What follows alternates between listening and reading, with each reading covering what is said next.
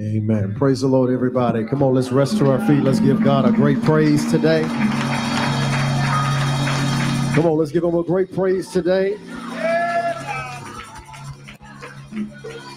Come on, can we lift him?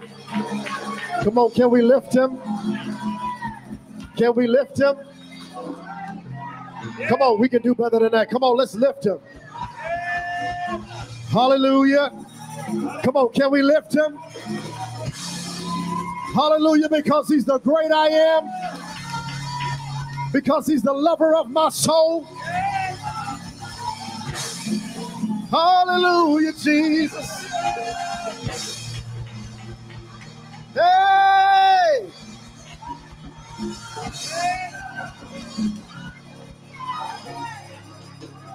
Amen. Well, while you're still on your feet, if you could just look to somebody to the left and right, come on, hug somebody next to you. Just say, It's good to see you this morning.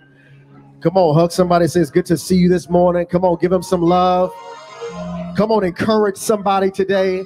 Our responsibility is to encourage somebody. Come on, Angel, get on your feet, Angel. Cabri, on your feet, Cabri. Come on, find somebody, hug them. It's good to see you, Noni. Colleague, you got big arms. Let's go. Come on. Off your roll, off your roll. Let's go.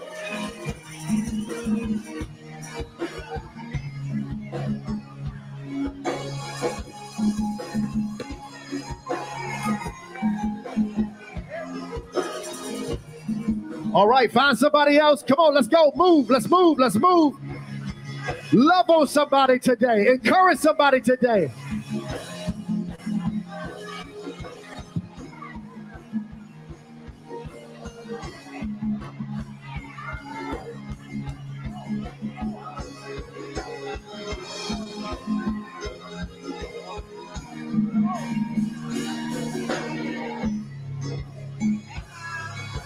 Come on, find somebody else and encourage them. Let them know that you love them.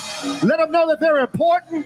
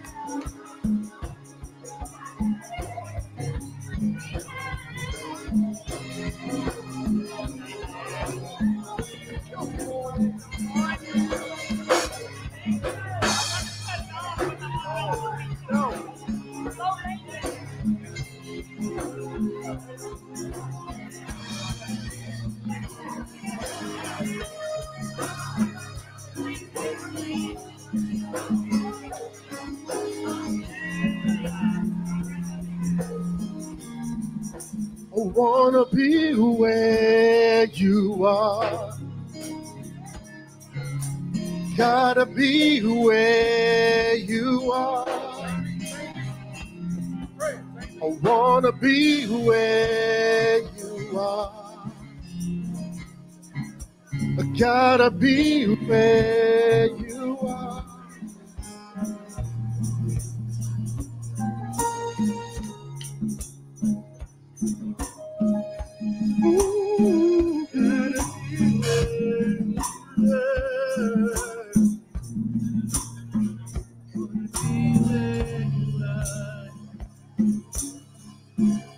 say, I gotta be where you are. Come on, from your spirit, just say, I want to be where you are. Come on, I gotta be, gotta be where you are. Come on, say it like you love him. Say, I want to be where you are. Jesus, I want to be where mm. Are. I want to be where. want to be where you are. Y'all sound real good. I've gotta be. Gotta be where you are. I wanna be. I wanna be. Wanna be where you are. Come on, as I'm doing this fast, I've gotta be. Gotta be where. Regardless of how my flesh, I wanna be. Wanna be. No matter what's happening in my life, I gotta be. Gotta be where you are. Come on, from your heart, one more time. I wanna be. I Wanna be where you are. I've gotta be. I Gotta be where you are. Come on, put those hands together one more time. For your glory. So I'm just playing. I'm just playing.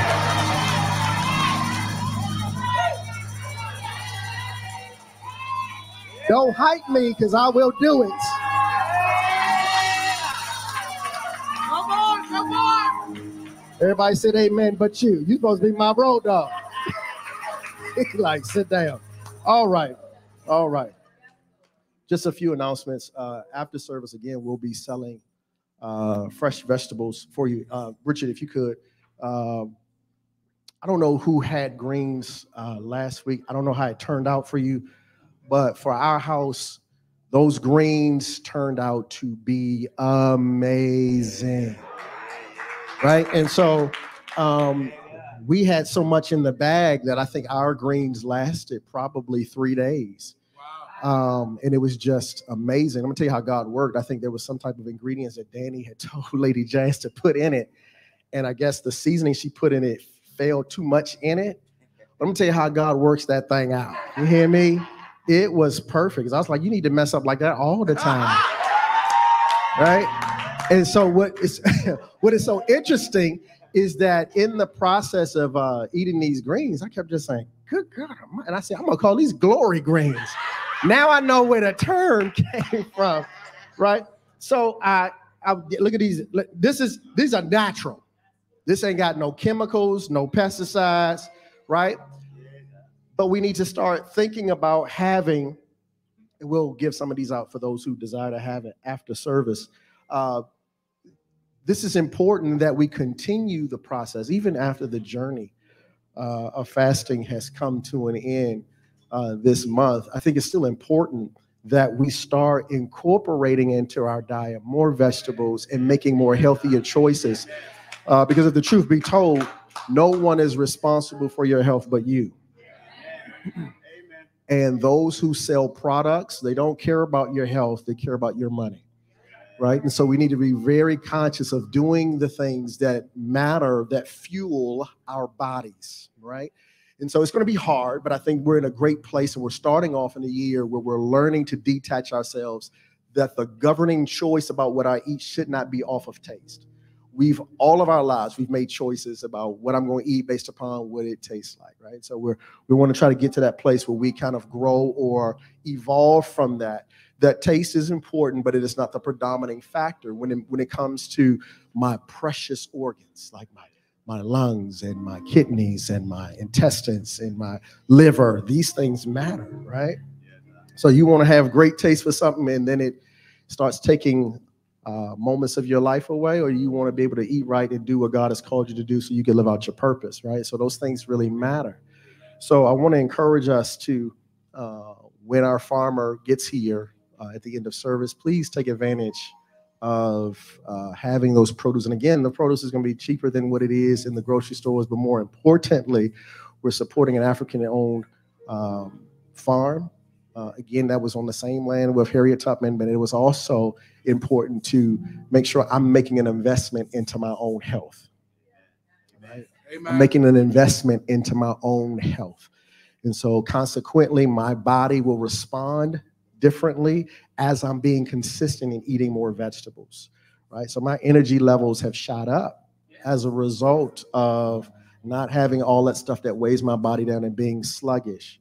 And so, normally, I would eat some food, I would feel uh, tired after I ate. Now I eat and I'm like, mm, I'm still hungry because I'm eating vegetables, right? So I still have to train myself to not overeat. So the whole goal is also to eat to satisfy hunger, not eat till you get full. Amen, saints. Right? Amen. So we have to learn how to detach ourselves from trying to eat till we get stuffed and miserable and sleepy, right? And trying to embrace itis. But rather, I'm trying to learn how to just satisfy my hunger, right? By fueling it with the appropriate things also, I wanted to just get give you a heads up. Um, starting in February, the first Saturday of February, right, we'll be having our workout uh, class, which will start at 10 o'clock, just for 59 minutes, where we're getting in and we're burning some calories, right? We're getting our bodies moving. We're probably trying to create elasticity with our muscles and our tendons and our ligaments. Some of us haven't stretched in a long time, right? So there'll be a process where you'll do a warm up right? You'll be taught how to appropriately stretch, right? Uh, and so some of us are tight because we haven't stretched in a long time. So those type of things really matter.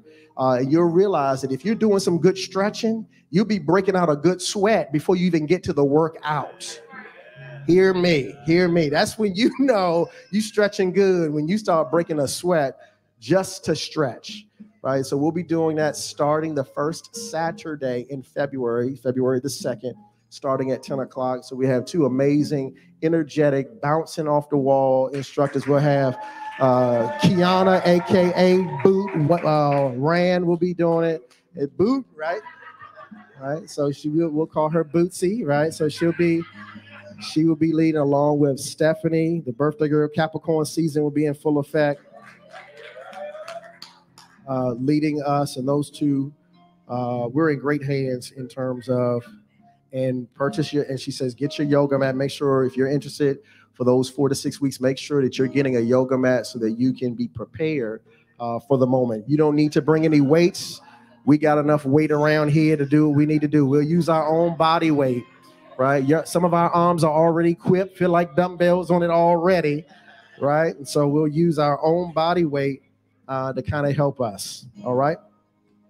Also, on February, the second February, sorry, second Saturday in February, February the 10th, we'll have a church meeting where I just want to kind of share some things in terms of where we're going, in terms of direction, so that you guys are clear where we are, where we're going, what we're endeavoring to do in this calendar year and some milestones that we have to tackle and some benchmarks that we need to reach so that we can really posture ourselves to be effective in terms of ministry. And then we'll hear some very exciting things in terms of some things, some ministry opportunities that people can kind of plug into and to start getting active.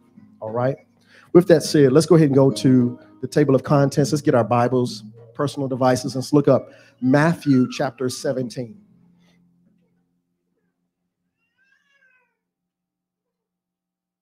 Matthew 17, and we'll just take a look at, well, for context, I'll read verses uh, 14 all the way to 21.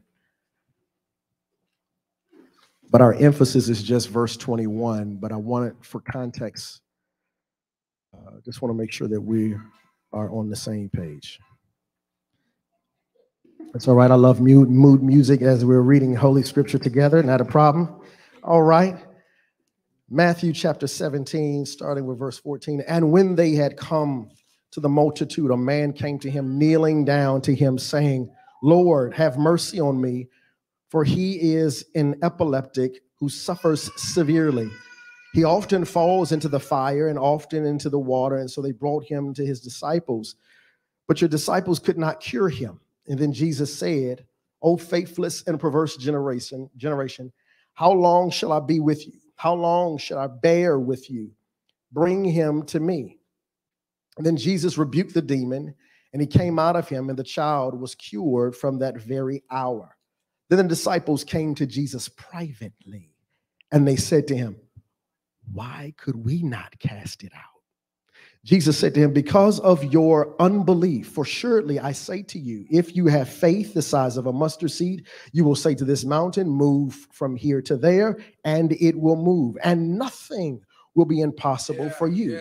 However, this kind does not go out except by prayer and fasting. Amen. So we want to, you may be seated. We want to finish sharing from uh, the series of gut instincts, gut instincts. So, whenever we're talking about the mechanism or the process by which we are driven in terms of making decisions, uh, it is intuitive for us to immediately start making decisions based upon how we feel. And it has been said over a period of time that whenever making the best decisions, some of the world's advice have been whenever making the best decisions for yourself, when you're getting ready to be confronted with something that requires a choice, the best thing to do is to lean on your gut or go with your gut instinct.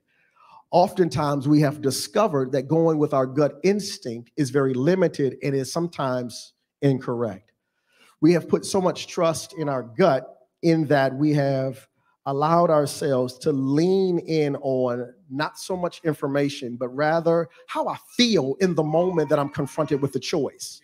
So I am making commitments or allowing myself to go in covenant or choosing to release, give, or to do something based upon a feeling that resides in my gut and I'm making long term commitments and decisions based upon short term information.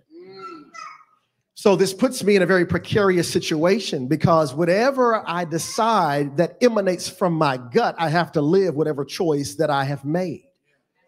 And that is not God's will for me to go through life choosing and committing and going into covenant based upon how I feel in my gut. That's a bad place to be. But oftentimes we have done that. When I can't choose between two options or three options or four options, rather than looking at how does this benefit me in a spiritual realm, I am really going with how do I feel about the choices? And in moments of split seconds, I'm making a decision based upon how I see the benefits being extended to me. Gut decisions, gut instinct. What do you think? What does your gut tell you? Should I commit to this? What does your gut tell you? Should I go there? What does your gut tell you? And this is not based from a spiritual disposition, but it is based upon how much intellect, how much information, how much exposure I have based upon the choices that is extended to me. So I am making a decision with limited information only from my knowledge base and I'm going with a feeling and my limited and capped intellect. Rather than give me a moment to pray about it, give me a moment to be led, give me a moment to consult God and to get clarity from God on what I should do next, I'm going to go ahead and make this decision based upon how I feel in this moment. And how I feel in this moment may not be accurate. The way that I feel is really driven sometimes based upon external circumstances that has a play in how I'm feeling internally. So if I'm presented with the same choices on day one as day two, my feelings are to be totally different and my choices are to be different. So if I am confronted with an option to choose between A and B on day one, if everything has been going well for me in that day, if everybody is being nice to me on that day, if everything is going in my favor on that day, then I'm more likely to choose one way. Now, on day two, if I haven't made a decision from day one, on day two, if people had gotten on my nerves, people are cutting me off in traffic, I burnt my outfit or burnt my blouse when I was trying to iron it, or it seems like there's no more toothpaste in the toothpaste tube, and then all of a sudden I, I get out there and my tire like it's flat, or the little light came up on my dashboard in the car, or I realize I gotta stop and it's raining. I don't want to stop for gas. I ain't got no umbrella today. My hair's starting to frizz up. I didn't do the touch up on my perm. I'm doing all of this stuff, and now I have to make a choice. My choice will be different. And where is it going to come from? My gut. So when we look at every facet of our lives, when choices matter, choices matter. What you decide is pivotal as it relates to the things of your life. And you're making life decisions based upon your gut. That's why all of us have exes, because we made decisions out of our gut. Yeah. Very few have a first love and stayed with the same love. Many of us got a resume of lovers because I went off of my gut. Mm. Many of us have a resume full of different jobs because I chose off of gut. I submitted it off of gut. Many of us have been connected to different churches off of a gut decision. When I showed up, choir was killing it that day. I showed up, the pastor was preaching that day. Or when I went there, that was the first church that people acknowledged me and they said hi and they let me just sit in the back and they make me stand up and say my name, what church and what affiliation and what I was supposed to do. They didn't let me do it. I have a good gut feeling about this. Ah.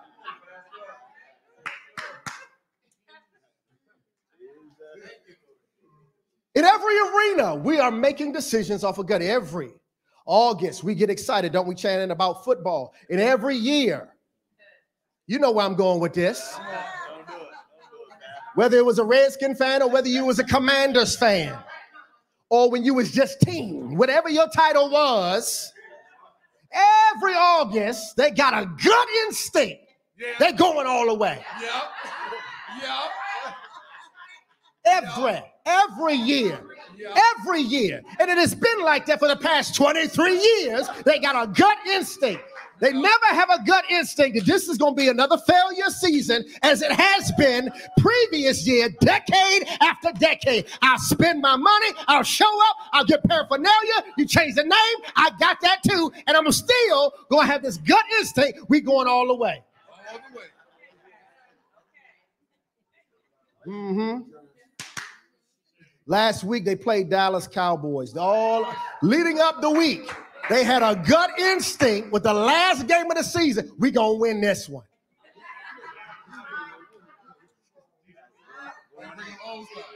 Let me just say this to you. Let me just let me just say this. This is a commercial break. This ain't got nothing to do with the message, but I just this has been on my heart to say this. For all the single ladies out there who watching online, you looking for a good loyal man, you ought to find a, a Commanders fan. Because I tell you, no matter how bad your life is, he'll never walk away. He'll never leave you. He'll show up. He'll spend money. That's the kind of person you want. All the single ladies looking for a good man, you can find one at FedEx.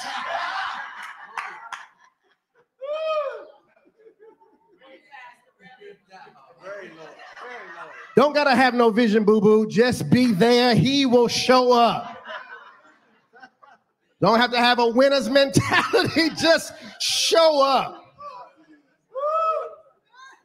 That's all I'm gonna say about the Commanders this year. That's ain't nothing else left to say, really. I think that's it. That's that's nothing else to say about them this year. But next year, uh, but next year, his gut. See, his gut tells him next year. Yeah. Yeah. Y'all should have been there and beyond because y'all keep saying all the way every year. How, how much of a way y'all can never mind? Jesus says, I am the way.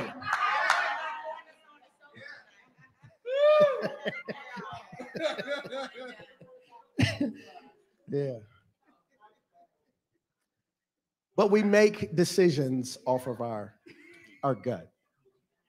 And it has gotten us in a tremendous amount of challenges, suffering, and headaches and afflictions. You know, when it comes to maturing in life, we never deviated from that pattern. We grew into, into our adulthood still making decisions based upon feelings, right? And so now that we have given our life over to Christ, now we're taught from a scriptural perspective that I don't make choices from feelings, but they must be driven by faith in God. And that becomes taboo because that wrecks the whole system of how we have designed the mechanism of the process by which we think and how we make choices. So now I need to be prayerful about it. Now I need to fast about it. Now I need to bring it before God and wait for a decision. That's counterintuitive for me. Right. And so now when you see this going into a personal thriving relationship with Christ, that now I don't make decisions based upon a feeling or my gut instinct, but now I need to make decisions in accordance to what does the face of God tell me when I've laid before him. So when you get to Matthew 17, when it comes to doing ministry on a whole nother level, the idea is that I have been prepared for ministry, that I have been in a place where I have sanctified myself, that I've been in a place where I have been made ready for ministry to serve others at a higher capacity. Well, when Jesus sends the disciples out to do ministry, they discover that it is not what they thought it would be. They had discovered that I can't go into the disposition of serving and being there for people and helping others, doing it based upon a gut feeling. When they go out to serve, they're running across individuals who got some very serious issues and challenges, and they're trying to do ministry out of their flesh.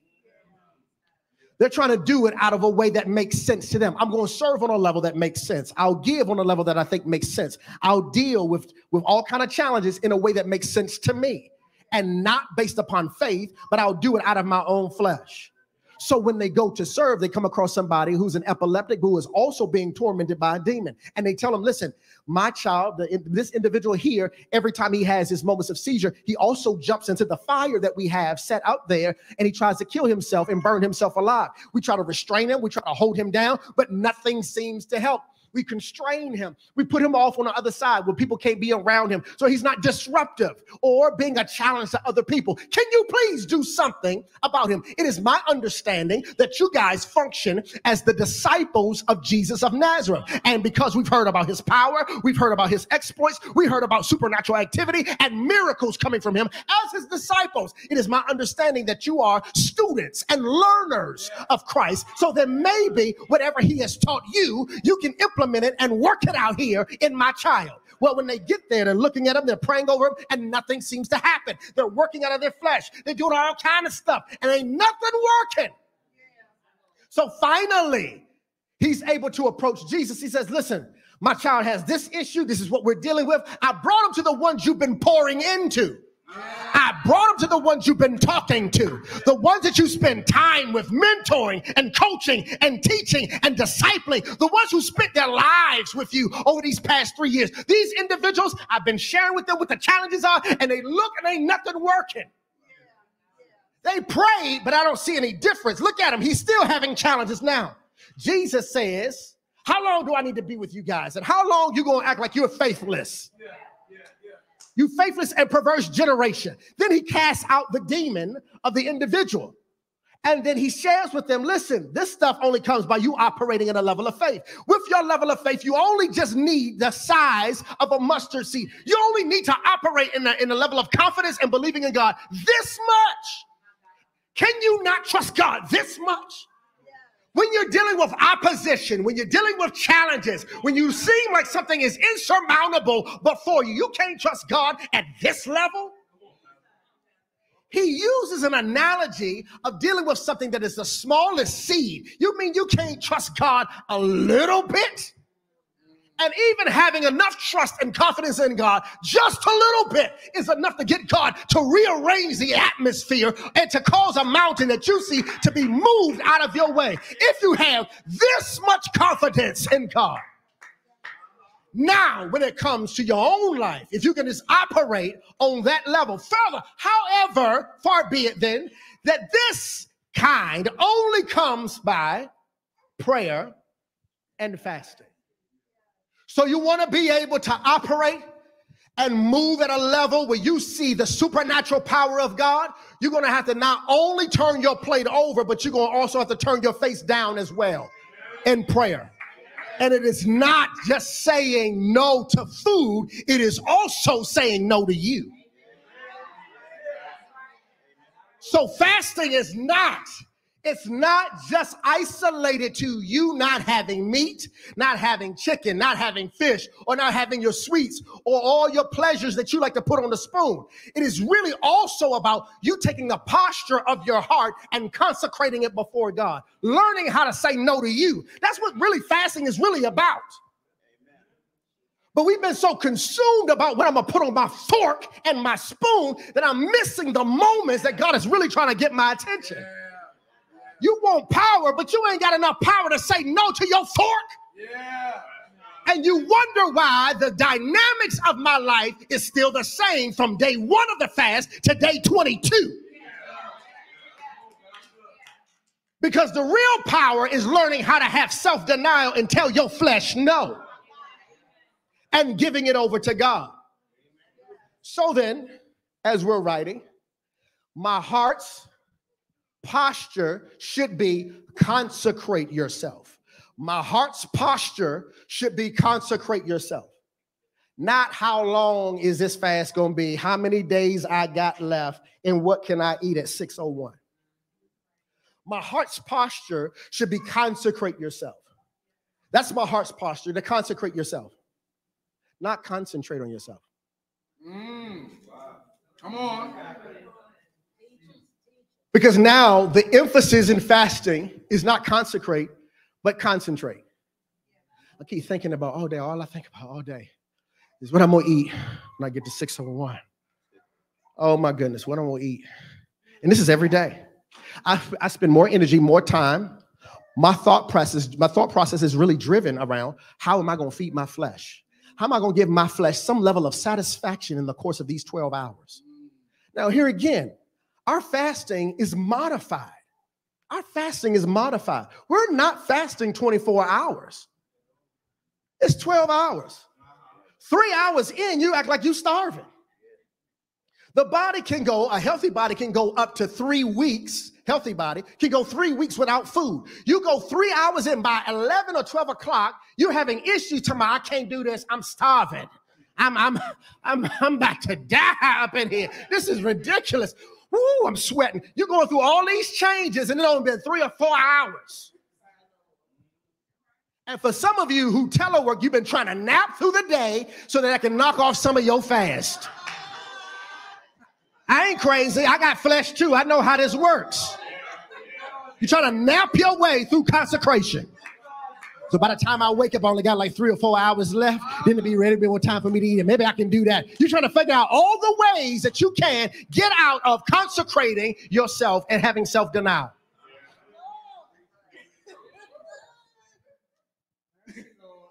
The power is released when you can make this process not about you. The issue that the disciples is having is that they try to do ministry and still serve without consecrating themselves. And you cannot qualify for that level of power if you're not willing to surrender to the power. To be able to walk in that level of power shows God I can be trusted with operating in the true riches of God. Which means I am not consumed throughout my day for just 12 hours thinking about how I'm going to give my flesh what it wants. What is the workaround? Can I have this? Can I have that? What about this? What about this? I didn't think about this, but how about this? Is this is this doable? Is this permissible? Is this allowed? Should we avoid this? Should I have this? Can I taste this? Is this what? How does this fall on the list? And we're looking at all these things, and we look at stuff up, and we Google it, and we YouTube it all over, trying to figure out what can I eat, when can I eat it, and how much can I have? Which too much does it fall into a sin? Because even then, I need to be conscious that when I can eat, if I overeat, I just sinned all over again because I became a glutton. Yeah. So here again, the whole purpose is not to eat till I get full, but to satisfy my hunger, just to fuel my body. So then when it comes 601, it is time for you to eat. You don't have three, four, five bowls of whatever you ate. Now you've entered in the realm of overindulging. Now you became greedy, and now you hit the realm of sin. So yeah, yeah, somebody just exhaled. I heard that. Because now the mindset is I need to really posture myself in giving myself over to God. And I only need what is necessary. And in a culture that wants you to have overabundance of everything, we generally pack our plates. We're eating with our eyes and not our stomachs. We're eating from the disposition of how it looks in our flesh. Ooh, I need that. Give me that. Give me that. Give me that. I want all of that. And I'm overindulging when I only just need a little bit to sustain me. So the idea is that I'm consecrating myself. My heart needs to be consecrated before God, not concentrate on myself. So if you become the center focus and you're constantly thinking about you, thinking about what you can get out of it, what you can receive from this, you're making the process about you. The whole idea of fasting is to really align myself to the power of God and God's heart and God's will. That's what fasting is really about. It's dying to myself so that I can allow Him to live through me. It is the process of me saying, God, what is on your heart in this moment? And that needs to be my focus. That needs to be what my heart needs to be centered on. Whatever you're saying, whatever you're thinking. But it is hard when you're constantly using your time and your energy to kind of figure out what menu you're going to come up with that you can't get tired of later. I'm going to eat this. Let me say, I'm going to do this. What am I going to eat? but if I do that today, what am I going to eat tomorrow?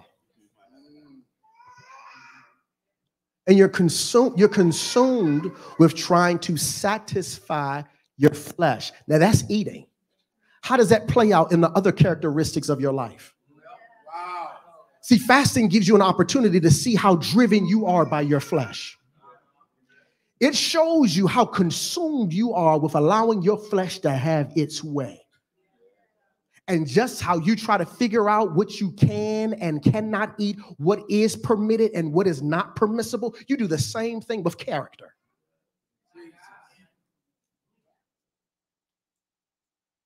How far can I take my flesh without it disappointing God? I remember when we were doing, when we were doing uh team, me and Elder Keisha used to do team Bible study. We were doing team ministry years ago. And that was the most, most draining uh, part is the questions that teens ask. Because the, the questions that teens used to always ask is, how far can they go in sin without disappointing God? And it's just like it'd be one after, it'd be rapid fire, bro. It just it's one after other. They ask stuff like, okay, I know we can't. I know the Bible said we can't have sex though, but is it wrong to tongue kiss? They be like, Elder, Elder, Elder, Elder Keisha, is it is it inappropriate? The Bible don't say anything about masturbation directly. Is that wrong to masturbate? Elder Keisha be like, okay, uh, Taya, you want to take this one? As all kind of stuff. How far can I go yeah. Yeah. without disappointing God? Look how that plays out in adulthood. Can I dri- can I drizzle caramel on my on my fruit when I'm eating it, Pastor? You know, we're, we're looking for ways to give our flesh what it wants, but without crossing the line. Looking for loopholes in consecration because we're inevitably in this fasting process, my energy is really driven to how much can I still have my flesh have its way, but yet also still try to reap benefits from God as if I'm doing it all the way. Right? And so that becomes the problem where I have to really divorce myself from the process and not try to find doors and exits or loopholes or things that can kind of come alongside of it, just so that I can still give my flesh some level of relief. It's going to involve suffering. That ain't real suffering, but it's still going to probably feel like it. Because really, if the truth be told, those who in third world countries, they're forced. Not because they picky. But in there's certain regions that their food is scarce. There's still famine in certain parts of the region of the globe. And they've gone days. You get four hours, you losing your mind. We say, take away coffee for 21 days. I can't do that. I can't do that. I can't even do my work. I can't think my head be pounding because you're addicted to it. That's why. Breaking any addiction is hard. That it gets to the point, this is when you know you have wrecked the system of your temple when you say, I can't do, I ain't clocking in. I ain't turning on the computer. I ain't checking these voicemails. I ain't talking to my coworkers until I have my cup of coffee. Jesus. Two creams, two sugars.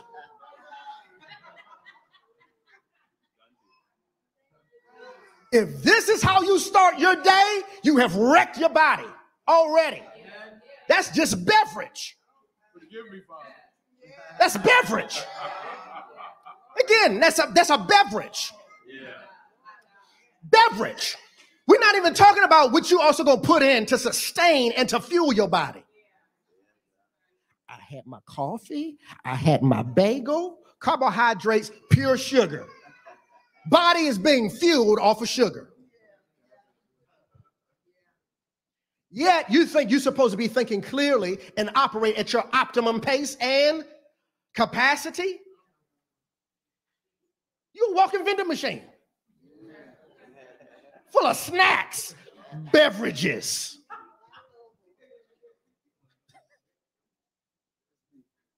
That's funny, but some people are absolutely man. Why he going there? That's not even that's not even that ain't, ain't got nothing to do with this scripture text. That ain't got nothing to do with fast. But the point I'm making is that we have to take a different look at how we treat this temple. Let me just remind you what Paul says. For those who say, listen, you know what? This is my body. I do whatever I want. Scripture would say in First Corinthians, right? What? Did you not know that your body is the temple of the Holy Ghost, which is in you? You are not your own. You were bought with a price, therefore glorify God with your body and spirit, which belongs to Him. You don't own the vessel that you live in, you are steward of it. You are living in something that God has already extended to you, but you don't own it. You dress it up, you do, you put all this other apparel on it, this attire, but it is not yours.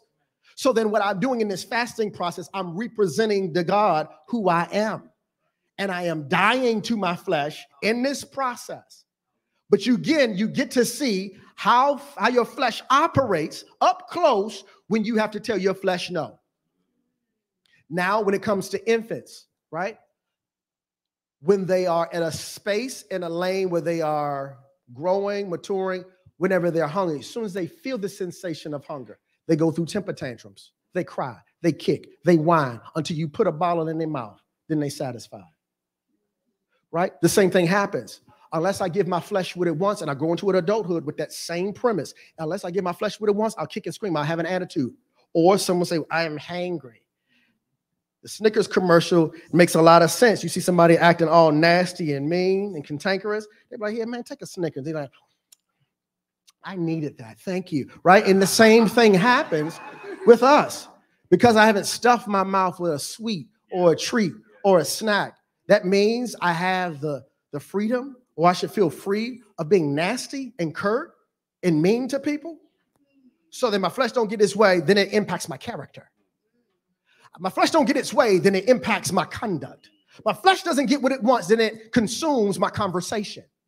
So, because I don't give my flesh what it wants, when my flesh cannot receive what it longs for, desires for, when I don't get the desired outcome of my flesh, even you're going to see it reflected in my conversation. I'll cuss you out, or I'll be nasty, or you'll see it in my conduct, how I act, disposition. I'm my body language is different because my flesh is not getting what it's want in any context.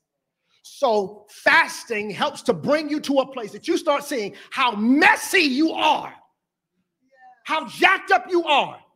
And if turning a fork down and putting a spoon away is difficult for 12 hours, imagine how you are in your flesh for 24 hours.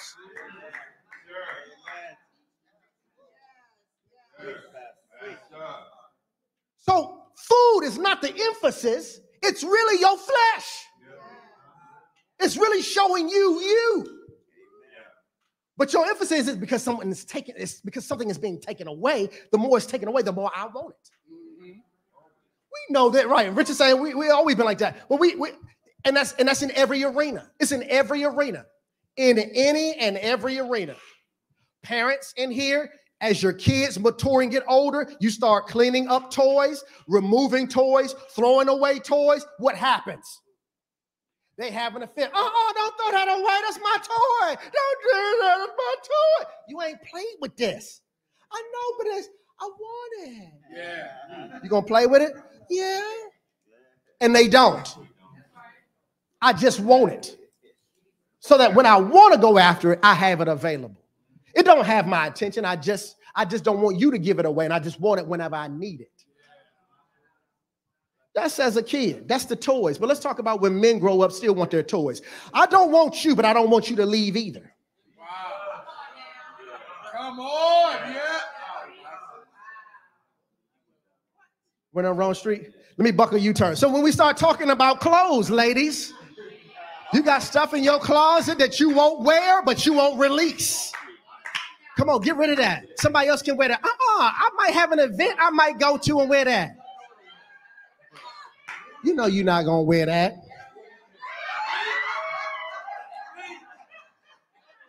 Okay, there's no streets that we can go on today. Let's just get back back to this.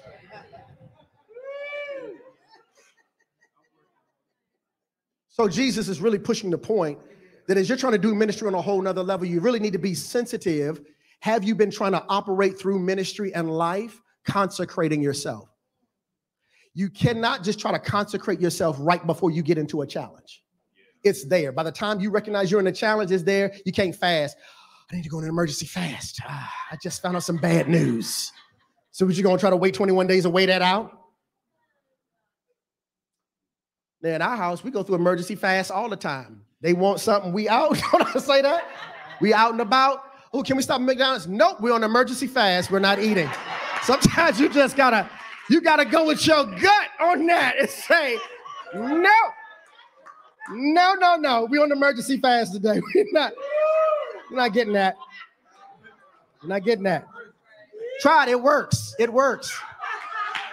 They don't fight you when you say that. They don't, they don't say much. They're like, oh my goodness. Yeah, you just got to call it emergency fast, right?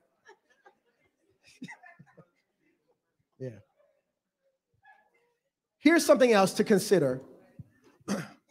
As they're doing ministry, they're at a place because Jesus makes this emphasis when you're dealing with demonic activity, when you're dealing with opposition, when you're dealing with the spirit of darkness and you're confronted by it, you can't come half cocked and you can't come in your flesh.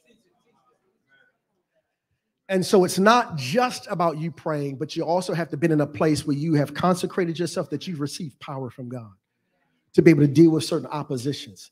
And so if you have an inconsistent prayer life and there is no existence of consecration and putting your flesh to the side, then you're not going to be able to deal with demonic activity in your own flesh you're not going to get the results. So then now, as we're dealing with our own challenges, with our own issues, our own setbacks, our own afflictions, when we're dealing with things that are strongholds and we need chains broken in our life and we need addictions dismantled and bad habits and patterns that are destructive in our life. If you have a shoddy prayer life and there is absolutely no consecration, how are you going to deal with that?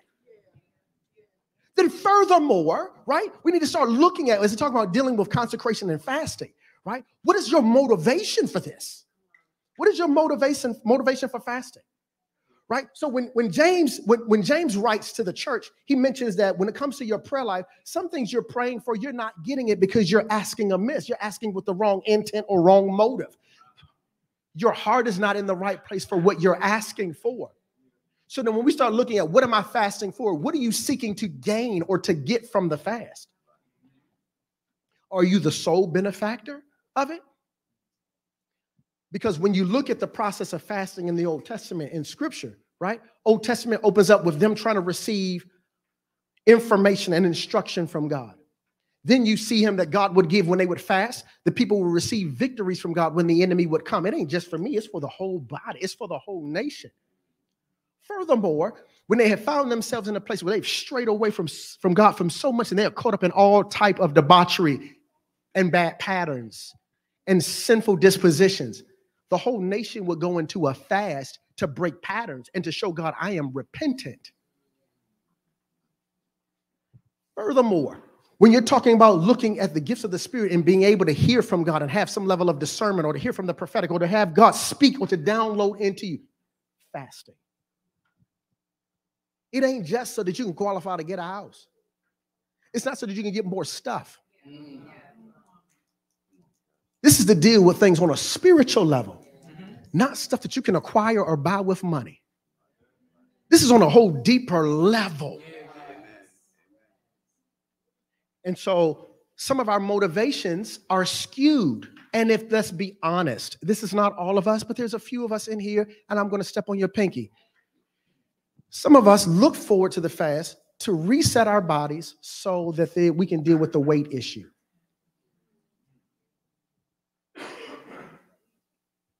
The weight issue. My motivation for these 21 days, Trey, is to deal with the weight issue.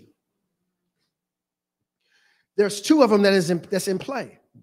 One are looking forward to deal with the weight, where God has said, I'm trying to help you deal with your weight. Wow. Come on. Two different W's, two different weights.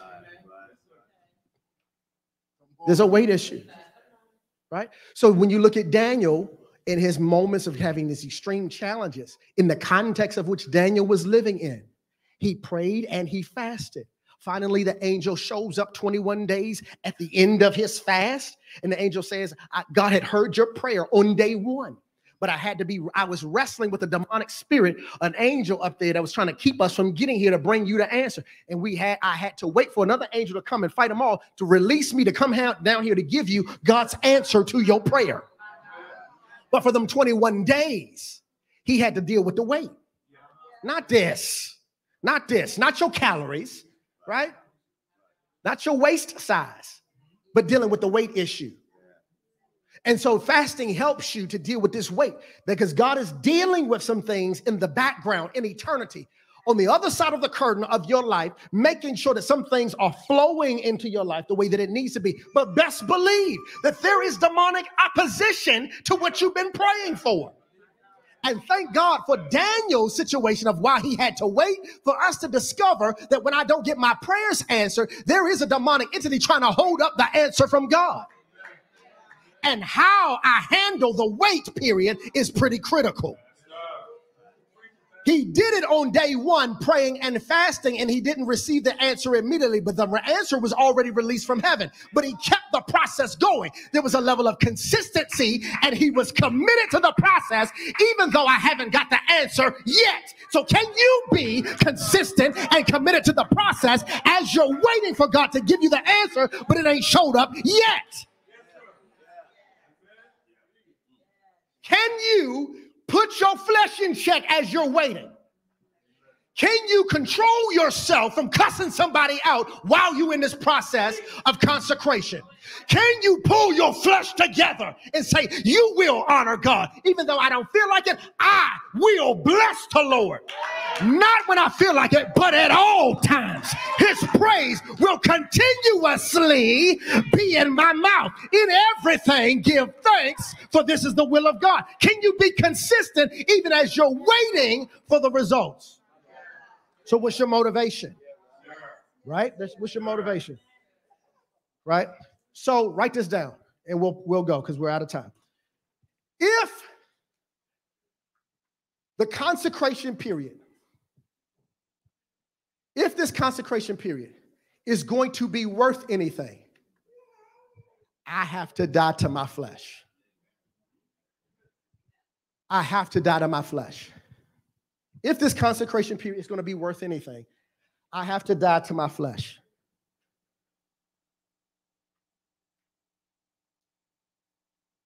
So then, the consecration is not just the flipping of the plate, right? It's a flipping of my spiritual disposition. So my conduct has got to change. My character needs to be modified and my conversation needs to be different. My conduct needs to change. My character needs to be modified. And my conversation needs to change, right? Which means, Can't just say anything that my flesh feel like saying. Alondra at the door, you ought to be saying amen, Alondra. You can't say everything your flesh feel like saying. You hear me, Jeanette? You can't just say whatever your flesh feel like saying. Hear me, Trevor? You can't say whatever your flesh feel. We're in a we're in a process of consecration. What's the purpose of you turning your plate down to receive power from God, but you cuss people out when you are able to eat? I ain't eat right now. I'm, I'm fasting. Mother, you know, you going off on somebody. You're gonna, you're gonna cuss somebody out. You're gonna continuously be like that. You might as well eat. Eat. You're gonna act like that, just eat. Because you might be more holy when a full belly than it is hungry. Just eat. Be done with it, just eat.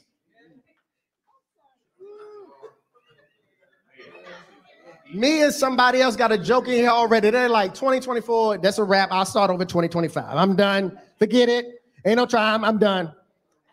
I don't cuss people out already. I'm done. That's it. You might as well just eat. You're gonna do all that. If you're gonna be doing what you've been doing, ain't no point of you fasting. Because the consecration is not just abstaining from food, it is the dying of the flesh. And without the consecration component within this spiritual discipline, it is nothing more than a sophisticated diet. That's it. That's it. And the best that you're going to get out of it is weight loss, no power, no deliverance, no release from strongholds. Your waist is thinner, but your problems got bigger. If you're going to do all that, you ain't going to consecrate yourself, just eat. Just eat. Who's going to do it? Because you're just sitting there wasting your time. You're just making yourself hungry and you're nasty to everybody. If you ain't going to check your conversation, you ain't going to check your character and let the character of Christ arise in you, and you're not going to deal with your conduct, just eat. Because all you're doing is having a temper tantrum like a baby waiting on a bottle. And all you're doing is make people rush up to you to put something in your mouth so you shut up. What, what is, where's the bottle? Where's the bottle? Where, come on, let's go. Let's go. Come on, come on. They're crying. Come on. It's okay. It's okay. And this is what they do. It's gonna be all right. You don't gotta be mad. Why you gotta be like that? That's that's the same that they do to their babies. It's okay. It's okay. It's okay. It's coming. Where you at? This is okay. It's all right. And that's exactly what we have. We go into an adulthood doing the same thing, having temper tantrums, and everyone is pacifying you, and everyone is coddling you because your flesh is having an upset moment. Why are they going off like they? Now going to adulthood. Why are they acting like that? They just going through some stuff right now. So we go into the same, still making excuses, still looking for coddling.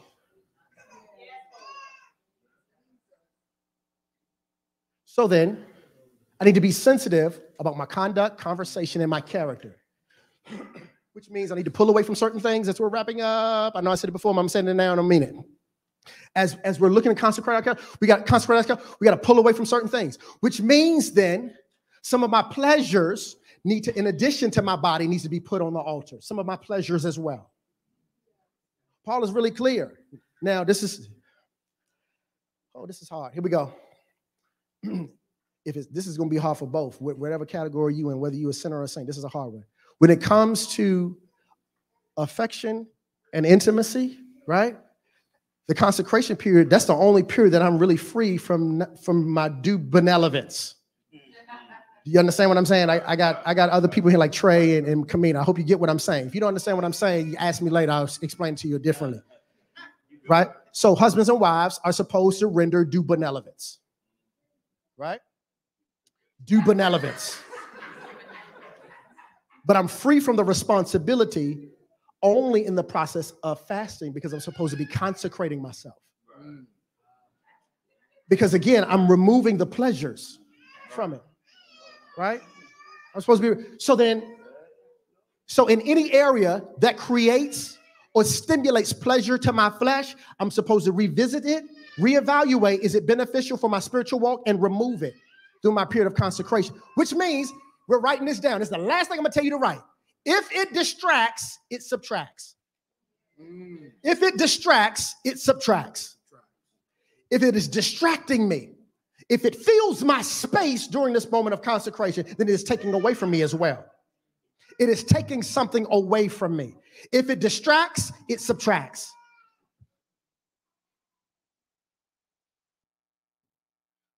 So then the social media viewership should decline. My TV time, my Netflix, and my Apple TV time should de- decrease, right? Because the time is supposed to be filled with me trying to get more of God. I am moving the food out so that I can have more of God, more of God, more of God, right? Because what I really what I really need is not based upon what makes sense to me. It's really based upon what is identified in his will.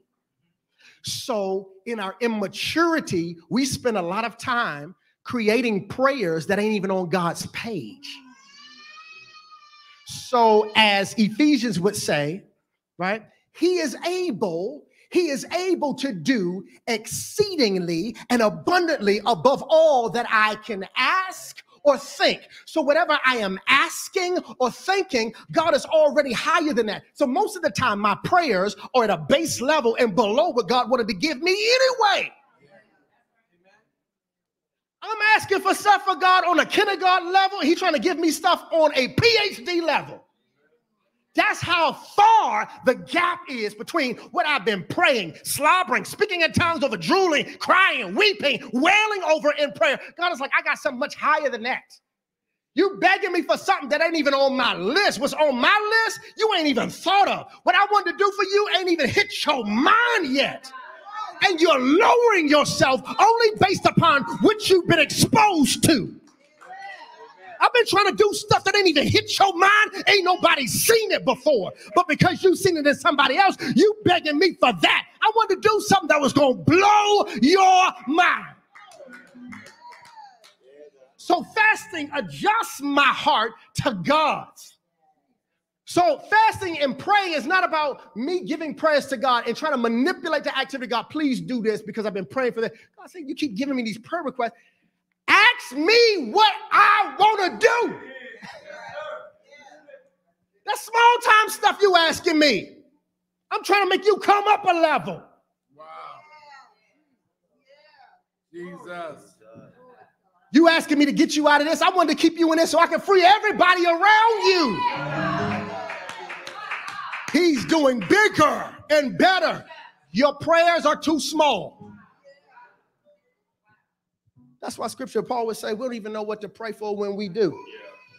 We asking for the wrong stuff. But fasting and praying adjust my heart to his God, whatever it is you want to do, my heart is being prepared for the okay. All heads bowed.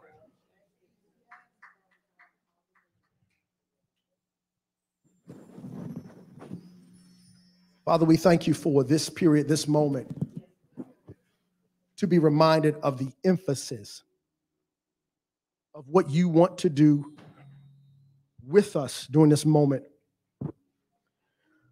of consecration. This moment is set aside not to be presented as a wish list, but so that I can really become one with your heart. And ultimately, what you want to say from heaven trumps what I wanted to beg of you. Having clarity about what you desire, what you want to do on the earth, what you want to do in my life, helps me to adjust my heart to that. Fasting helps prepare my soul to come in alignment with the hard stuff that may not make sense to me. Fasting helps break down my feelings so that I can operate in faith.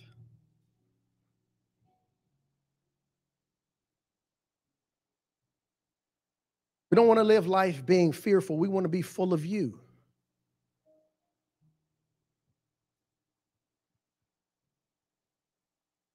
So help us to have the correct perspective as we approach the period of consecration.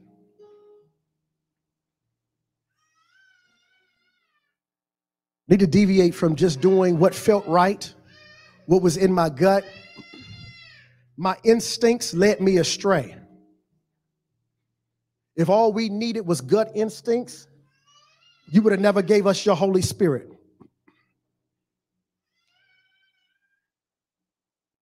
You gave me your Holy Spirit because we would make too many bad choices with the instincts in our gut. The Holy Spirit is on the inside to lead and to guide into all truth. You've given your precious Holy Spirit to give me counsel, to instruct in wisdom, to convict me when I'm off course.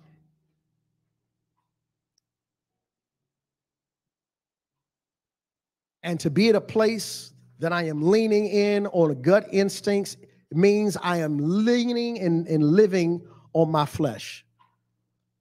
My decision making process, as limited as it is, is driven out of my flesh out of a soulish experience. But you're calling us to go higher and to go deeper and to go wider and further. And that only comes by way of surrendering to the Holy Spirit.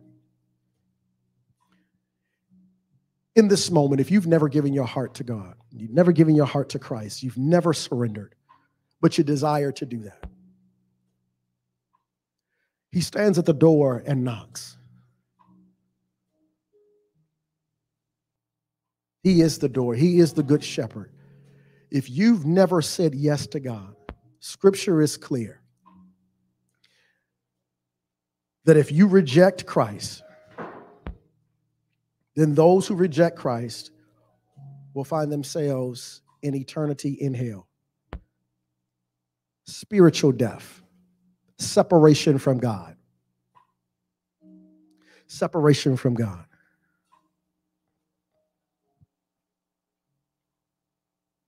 God is clear. He desires that no man should perish, but that all will come to repentance. It is not God's desire to send his creation to hell, but they have an opportunity to choose to receive him as Lord and Savior. All roads, all ways don't lead to God.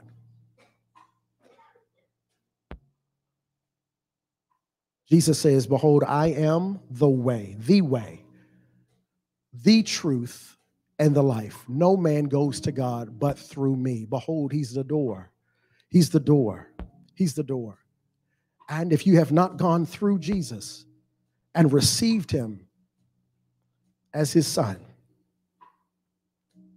and received his lordship and his salvific work at the cross, then you're not born again. You can be a good person. You can be very charitable. You can be just genuinely nice in your character. But if you're not born again, if you're not saved, then you will not experience eternal life. We know that the enemy comes to kill, steal, and to destroy. Jesus says, I've come that you may have life until life is in overflow. Or King James Version says, life abundantly. And if you have not experienced the abundant life, if you are not in the arms of God, if you're not even quite sure if you're safe, we want to share with you, according to scripture, how you can have eternal life. Not our opinion, not our doctrine, not our theology, according to God's holy word, how you can have eternal life. That is you. We want to pray with you.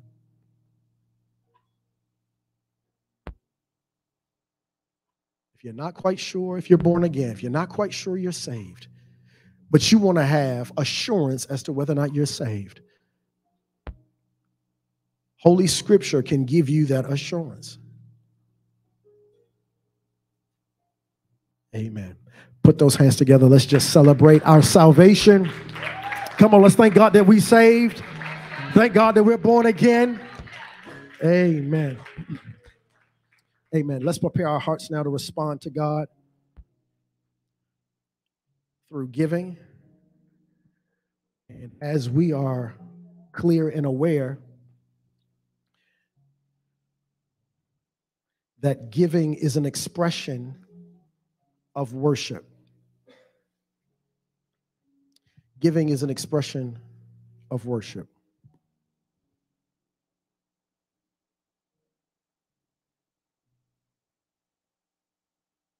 And when I give, I give with the right motive. I don't give to get. I don't give just to get a blessing back. I give, number one, because he commanded it, and number two, because I love him. And as a result of my obedience to what he has commanded, he's given us promises because we've practiced the principle that he would open up a window of heaven and pour out a blessing that we don't have the capacity to receive it. I give with the right intent. I want to honor God. That my giving is attached or is an extension of my worship before him. That's why I give. The tithe is what I present to God. As a good steward, I present back to God what is already His. The Bible says the earth is the Lord's and the fullness thereof, and they that dwell therein. He owns the cattle on a thousand hill. Everything that I have access to, it's God's. I present the tithe back, a tenth. As Leviticus would say, the tithe is holy unto the Lord. I present the holy thing back unto the Lord. This becomes my exercise of obedience. The number two, I extend the offering. It is the gift that I sow. I don't sow it with the intent to get back as if it's a lottery system or an investment system. I sow into the kingdom because I love God and I love his people. But the spiritual principle is applied to my life. Whatsoever thou sowest, that's that shall you also reap. You sow sparingly, you reap sparingly. You sow bountifully, thou shalt reap bountifully. I sow with the intent to honor, with the intent to honor God. And as we have been saying, I don't give just in churches, I give wherever there is an opportunity. I practice my giving here in the sanctuary, but I live it out in the world. Right? I practice in here, but I live it out in the world. So I don't just become a giver on a Sunday between 11 and 12 or 3 o'clock, whenever we get out, depending on how long I talk, right? but we become givers based upon what I do when I'm released. Right? So we're practicing being givers. It becomes a part of my lifestyle, spiritual discipline. All right. Uh, at this time, let's rest to our feet. If you have gifts at this time, we want to encourage you to come at this time from where you are and you just sow it in the basket at this time. All right, Alondra, go ahead and get a microphone. Wake her up, please. Alondra, get a mic. She don't had a good nap. You get sleepy when you're hungry, right? Alondra, go ahead and get a microphone. Not the one that looks green, the one that has a different color so don't look like food. Go ahead, Alondra, and go ahead and start singing a song.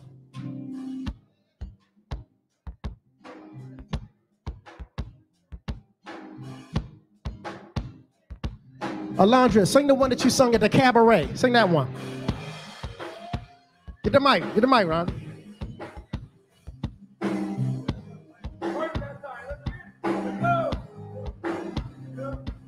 Hey, bless, bless,